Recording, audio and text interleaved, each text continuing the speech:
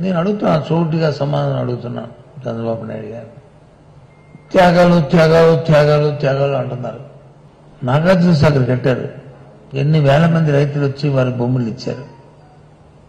ఇప్పుడు పోలవరం కడుతున్నాం. ఎంతమంది రైతుల తాలూకా భూముల్లో నుంచి మనం వచ్చి కడుతున్నాం. వాళ్ళకి ఇస్తున్న కాంపన్సేషన్ ప్రభుత్వం ఏదైతే చట్టాల్లో ఉద్దేశించిందో ఆ చట్టాల ప్రకారం వాళ్ళకి కాంపన్సేషన్ ఇస్తున్నాం.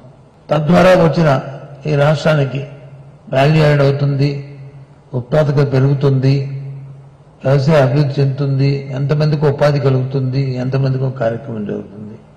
అది త్యాగం కాదా అది? అది త్యాగం అంటారా? లేదు రియల్ ఎస్టేట్ వ్యాపారం చేసుకుంటున్నా రియల్ ఎస్టేట్ వ్యాపారం కోసమే కార్యక్రమాన్ని ఆలోచన చేసి ఒక సామాజిక వర్గం కోసమే పెడుతున్నా మరి చేసి త్యాగం అంటారా? చెప్పండి ఒకసారి చంద్రబాబు నాయుడు గారు. ఏ త్యాగం. నేను అడుగుతున్నాను సూటిగా సమాధానం అడుగుతున్నాను చంద్రబాబు నాయుడు గారు. త్యాగాలు త్యాగాలు త్యాగాలు త్యాగాలు అంటున్నారు. నాగార్జున సాగర్ కట్టారు. ఎన్ని వేల మంది రైతులు వచ్చి వారి భూములు ఇచ్చారు. ఇప్పుడు పోలవరం కడుతున్నాం. ఎంతమంది రైతుల తాలూకా భూముల్లో నుంచి మనం వచ్చి కడుతున్నాం.